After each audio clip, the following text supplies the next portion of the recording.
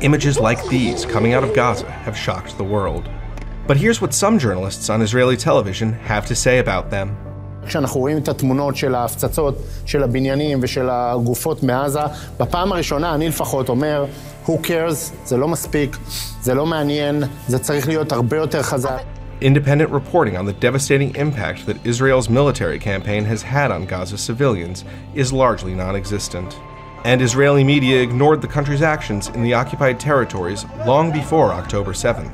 There's even an expression for the Israeli press's long standing attitude quiet, we're shooting. We talked to veteran Israeli journalist Gideon Levy about why much of the country's media establishment chooses to either ignore or glorify the suffering of Palestinians. You have to be part of the dehumanization of the Palestinians. You don't have to show them as human beings You don't have to tell the story of their tragedies and catastrophes. You can really ignore them. When South Africa made the case that Israel has been committing genocide in Gaza, it showed the UN's International Court of Justice clips like this from Israeli media as evidence. אז אנחנו צריכים שיקרה האסון הזה כדי להבין שהפלסטינים זאת קבוצה מיותרת? כדי להבין שיכול להיות שמה שהם צריכים זה נכבה שתיים? See, over the last decade, a large network of right wing media outlets has emerged in Israel, and its coverage explicitly dehumanizes Palestinians. חיות אדם, לא פחות מזה. רובם כמובן בהתחלה מכחישים כל קשר לאירוע, ובאמצעות כלים ויכולות מסוימות אנחנו בעצם מצליחים להוציא מהם את ההודעות הראשונות.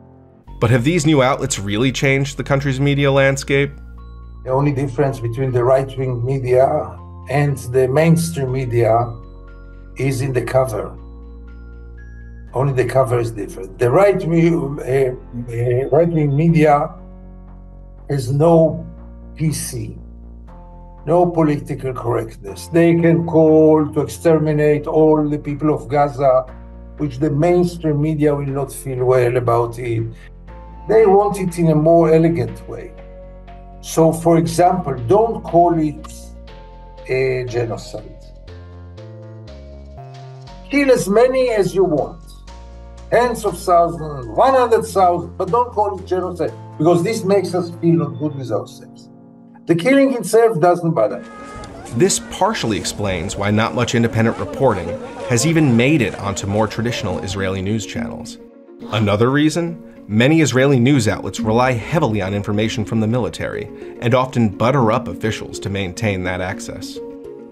Now, the army created a very sophisticated way in which, if you want information from the army, you have to behave well to the army, otherwise, he will exclude you. You depend a lot on the goodwill of the army. And the army has the biggest PR uh, unit in Israel And, and they do it very sophisticated. Israeli media will often air footage like this, given to them by the military, without scrutiny or additional context. במלחמה זו הבנו את חשיבותו של צה"ל ככוח המגן של העם היהודי בארץ ובעולם. Journalists also allow military spokespeople to regurgitate government talking points with little to no pushback. Like in this next clip, where a military spokesperson justifies the horrific conditions that Palestinians face in an Israeli prison.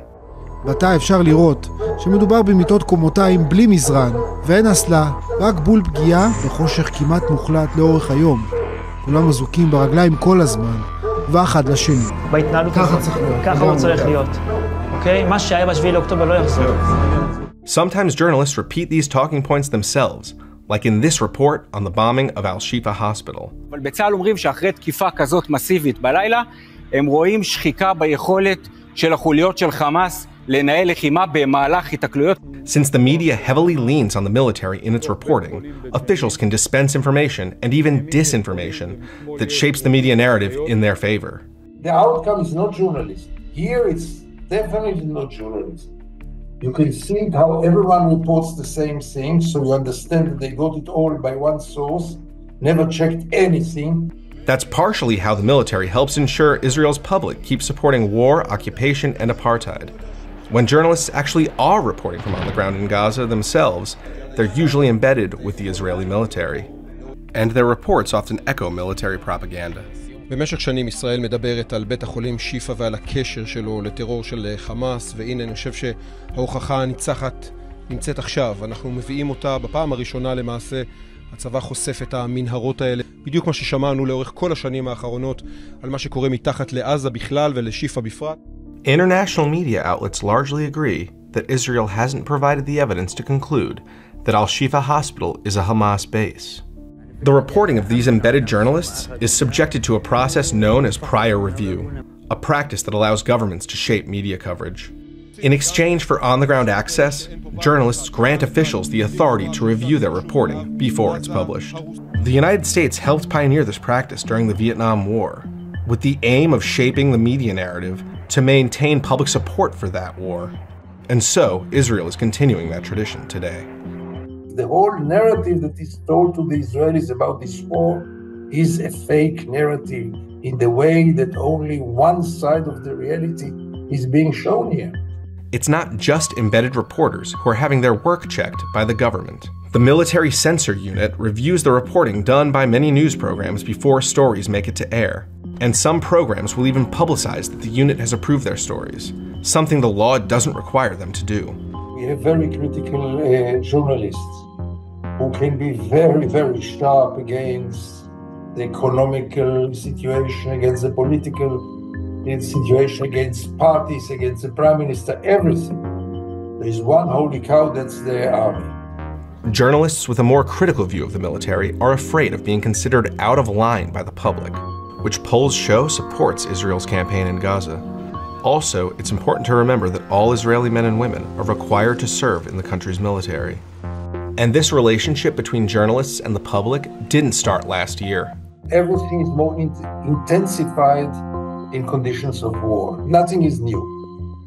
You don't want to criticize the soldiers in times of, of peace or occupation. You don't want to tell stories about crimes being committed by soldiers in normal times because nobody wants to hear it because it's our sons it's the friends of our sons and the sons of our friends. We don't want to hear those things. Please. Over the years, some Israeli journalists have even been attacked by people angered by their reporting or perspective. And Palestinian journalists are largely excluded from Israeli media. Besides rare exceptions like 972 magazine, most outlets don't hire them. And even before the current escalation, Israel's media has only rarely critically engaged with the country's decades long occupation of Palestinian territory and its treatment of the people who live there. Here's an example. When Israeli human rights group B'Tselem released a report in 2021 that described the country as an apartheid regime, it received coverage all over the world, except from outlets in Israel. The fear of the, of the mainstream public opinion is uh, very, very strong. But you know, it is such a mutual process that you don't know what comes before what. It's a vicious circle because the journalists by themselves already believe in what they do. At least the military correspondents, for sure, they are really admiring the army. Once I would like to hear that a certain commander is not so good did some mistakes, failed in something. Nothing. All of them are brilliant. All of them are adorable. All of it's, it's ridiculous. And that's why today, even as Israel continues to bombard Gaza, the Israeli media prioritizes national unity over covering the government's genocidal acts. So, when Russian media is covering the war in Ukraine, Nobody believes it because we know it's a media run by Putin and you don't get the realities through them. Here it is much worse because we don't have a Putin. We chose to be the Putins. And that's really depressing.